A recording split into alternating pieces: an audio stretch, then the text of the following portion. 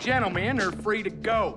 Uncuff them, detectives. Now! Ah, why? Nobody, no case. It's over. Whoa, whoa, whoa, what are you talking about, no body? That room looked like the set from Saw freaking 1. Nope. The room was downright Martha Stewart. Forensics couldn't find Dick, except for a faint, uh, lemony fresh kind of odor. I can still smell it.